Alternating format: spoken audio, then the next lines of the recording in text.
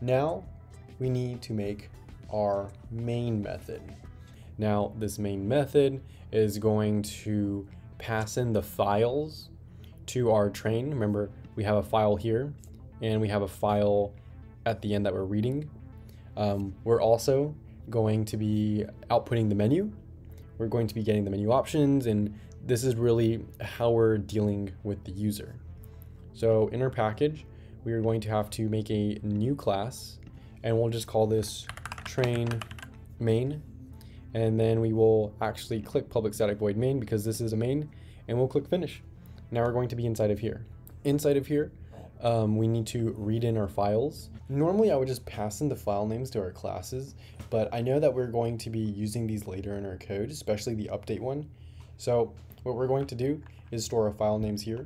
I'm going to call this string car file, and this will store the car dot text. This has to be in quotes. And then after this, we are also going to have string, and I'll call this update file, where we store the update dot text. So these will store our update files.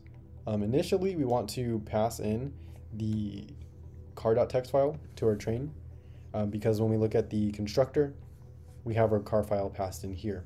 Makes sense. So we will do train, we'll call it train instead of equal to a new train, where we pass in the car file. Um, we're also going to want to take user input. This is a menu.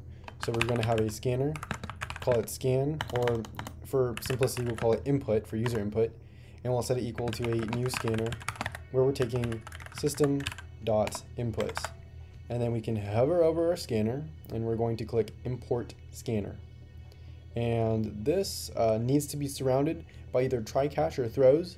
Um, I like to usually do try catch it's typically better because you can output whatever error you have um, and however you like it. But for simplicity I'm going to do an add throws declaration here. And so this is our code right here. And now we can go on to the menu. In our menu we want it to run at least one time. So we'll do a do while loop. We'll have do, and then we will say while. Uh, I know in the actual project it says that q means goodbye. So we'll have while our user input does not equal q will be inside of here. Just realized that in my kind of variable list, I never uh, defined a string to store user input. So we'll do that now. We'll do string and we'll call this UI for user input, and we'll set this equal to null initially. Uh, we will fill this. So we'll say while not user input, which is UI dot equals ignore casing, and then we're going to pass in Q. So this is going to run as long as this uh, input does not equal to Q. Inside of our do while loop, we're going to call our train helper right here. This is the menu options. So we'll just do train helper and we know our method name is menu.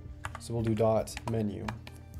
Next, we are going to take the user input because if we look at the train helper, it asks to type in a character to pick a line or to pick whatever action that we're going to do. So switching back here, UI is equal to input dot next, and we'll just take the whole line. So we'll do next line, even though next should be fine as well. And then after this, uh, I need to lowercase that u. After this, we are just going to go through all our scenarios. So if our user input is equal to a, well, we're just going to ask them to enter the factory name, enter the stop number, and enter the material name. We will store all of these, and then we are going to um, tell the program that we are passing it to the factory ad front, and then we're going to sort it behind the scenes, um, and then that's it. So that's essentially what this part's going to be doing inside of here. Our first if statement is going to be if our UI dot equals a. And remember, this is the first choice here. We're going to attach the car. So attaching the car, we're going to be in here. We'll do a sysout, and we're going to ask them to enter the factory name. And I'm also going to do this on the same line, so I'll just do print and they'll be able to enter uh, their value. Um, then we're going to store their answer in a string. And then we're going to do the same thing for the stop number and the material name. Uh, just remember that the stop number is an integer, so you're going to have to store it inside of an integer. So this is what that's going to look like. Now we are just going to tell our user that we are adding the car, factory name, stop number, and material name. We're going to do this all in one system.out.println, and then we're going to just add this and then call our sort to sort it. So we'll do train dot attach, and this adds a new car node to our linked list. And then we're going to pass in our factory name, stop number, and material name. Super simple. And then outside of that, we're going to be in an else if statement. And then we're going to do UI dot ignore dot equals ignore casing.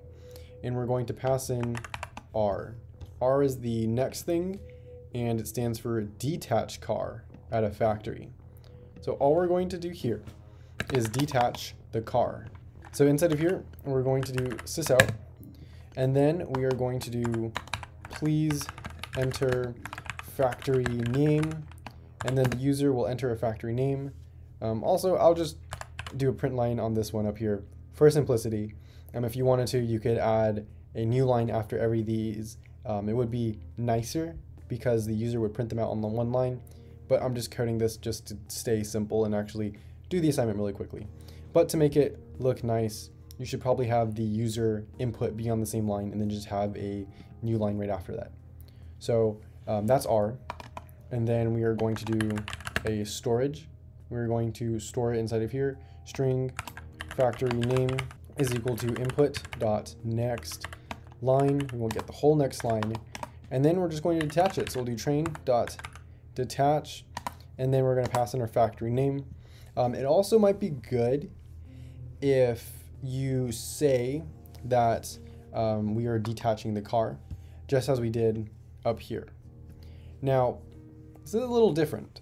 Um, dot detach, if we go into our train method, and it's right here above is factory name exist. Um, it might be good in here to actually print out somewhere if our train is detached. If because if our train doesn't exist, well, we can't detach it. But just to keep it simple, we'll assume that a correct train is being passed in, and we will do system.out. The car is detached at, and then we will also add in our factory name. So we're going to come here, and we're going to factory name. Otherwise, if we want to display, we know that this is D, so we'll do else if, and then this means that we are going to display. So we are going to have a sysout, and I'm going to do a print line because I just want to print a space in between them. We don't have to have anything special here. And then we're going to do train dot display cars, and then I'll just do another sysout to just have a line just for neatness, just for um, how the actual UI is going to look. Next uh, is if we want to, next is if we want to search for our factory. So we're going to have else if, and then we're going to do UI dot equals ignore case. Actually, this should be equals ignore case. And then inside of here, we know that we're going to pass in s. Inside of here, we're going to ask the user to please enter the factory name. They're going to enter the factory name, and then after this, we are going to get that and put it into our method once we call it. Remember, we do have to store this though, so we'll say string factory name is equal to inputs dot next, and we're going to do the line, and then we're going to pass this into detach, so we'll do train dot detach. And this is one of the reasons why it's super important to do our Java doc because it'll tell the return, um, it will tell our parameters, and then it tells what the actual method is doing right here. So we'll click this and we are going to pass in the factory name. And so that will be the S. Now, we do have another case. And this is if we want to merge. So we'll have else if, and then UI dot equals ignore case, we're passing in M here. First, we are going to display our existing cars. So we'll do a sysout and we'll write displaying the existing cars. And then afterwards, we are going to be in here and just get the cars. So we'll do train dot display train cars. And then we want to update our cars. So we're going to do train dot merge and we're going to pass in our update file. And remember, this is this file that we stored earlier. So that's the update file. And then we're just going to do a sysout. And then inside of here, we want to have a new line. So we'll just do slash n. And then we'll just, say displaying the new cars. And so we'll come down here. And then we're going to do train dot display train cars. So that displays the train cars. And that should be it. We're done. Now we've coded everything in our menu. So we can say else if, and this is before we hit the end of the while loop, we will quickly say goodbye to our user. So we'll do UI dot equals ignore case q. This is, remember, if the user wants to quit. We'll just say sysout did not want to talk to you anyways. And that will break us out of here because we'll keep falling through and we'll just end up at this while loop, which is the end. Um, we should check for invalid input though. So we will have an else statement, which will catch everything else.